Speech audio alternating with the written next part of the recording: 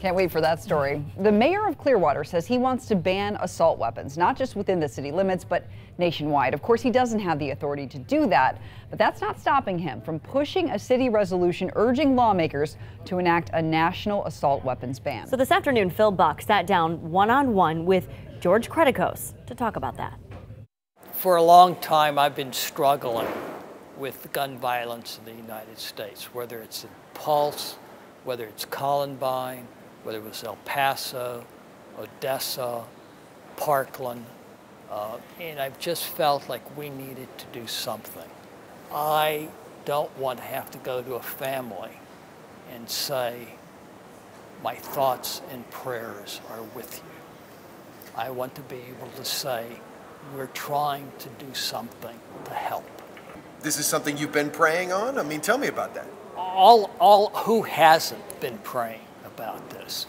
We're just trying to say, do you really need a military style assault weapon? There's not agreement on that. My colleagues are disagreeing with me. We may have to revise because I, I would like to have something pass uh, so that Clearwater can go on record as saying that this is important to us. Yeah, you mentioned this is an emotional issue. It has also somewhat become a, a partisan issue people are making it a partisan issue. I'm not looking at it from a partisan standpoint. This, this should not be a Republican Democrat issue. This, should be, this is a national issue. Okay, so what exactly is in this resolution that the mayor wants the city council to pass? Well, it's got a few major bullet points, pun intended there. All right, the first being ban assault weapons.